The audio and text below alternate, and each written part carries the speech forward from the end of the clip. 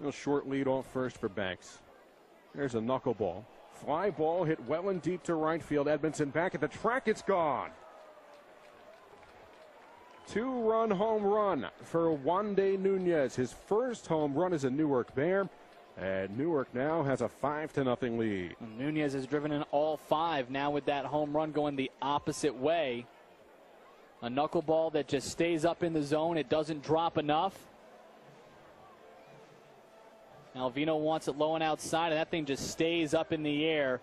Very easy for Nunez to see, and he puts a good swing. He's had the best swings against her so far today.